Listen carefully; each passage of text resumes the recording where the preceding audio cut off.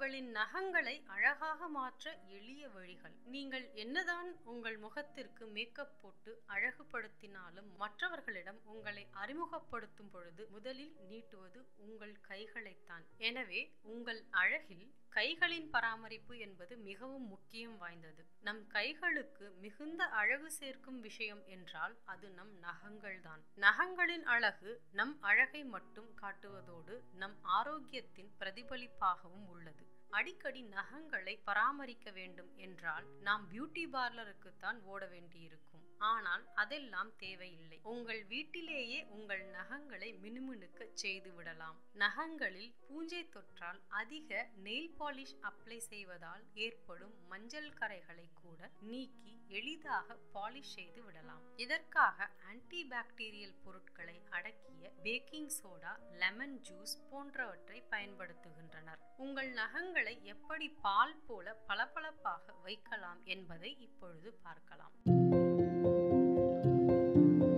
Packing சோடாவில் whitening பொருட்கள் நகங்களை அழகாக பாலிஷ் ஆக்கிவிடுகிறது. அரை டீஸ்பூன் பேக்கிங் சோடாவை இரண்டு அல்லது மூன்று டீஸ்பூன் டிஸ்டில் வாட்டருடன் கலந்து கொள்ள வேண்டும். இந்த கலவையை நகத்தில் தடவி சில நிமிடங்கள் உலர வைத்து பிறகு வெதுவெதுப்பான நீரில் சுத்தம் செய்யவும்.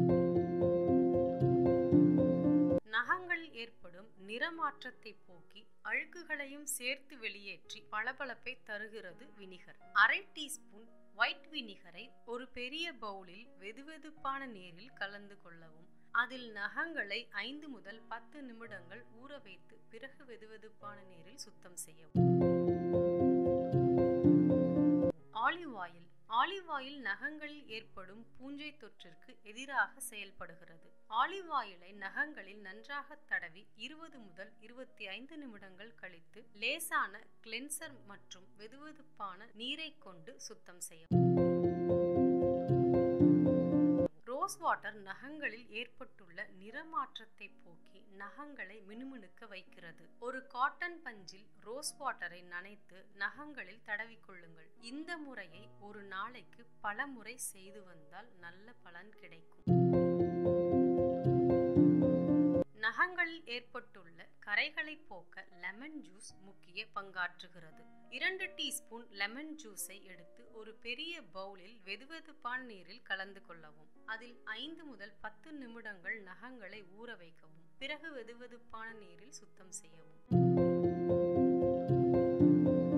அடிக்கடி உடைந்து போகும் நகங்களையும் நகத்தில் ஏற்படும் நிறமாற்றத்தை போக்கவும் வெள்ளரிக்காய் பயன்படுகிறது. வெள்ளரிக்காய் துண்டுகளை நன்றாக மசித்து கொள்ளவும். இந்த பேஸ்டை நகத்தில் தடவி பத்து முதல் பதினைந்து நிமிடங்கள் அப்படியே வைத்திருக்கவும். பிறகு வெதுவெதுப்பான நீரில் சுத்தம் செய்யவும். ஆரஞ்சு தோல் பொடி ஒரு ப்ளீச்சிங் ஏஜென்ட் போல செயல்படுகிறது. நகங்களில் உள்ள கரைகளை போக்கி நகத்தை சுத்தமாக வைக்க உதவுகிறது. அரை டீஸ்பூன் ஆரஞ்சு தோல் பொடியை ஒரு டேபிள் ஸ்பூன் டிஸ்டில் வாட்டருடன் கலந்து கொள்ள வேண்டும். இந்த பேஸ்டை நகத்தில் தடவி கொள்ளவும். இதை பத்து முதல் பதினைந்து நிமிடங்கள் நன்றாக ஊற வைத்து பிறகு வெதுவெதுப்பான நீரில் சுத்தம் செய்யவும்.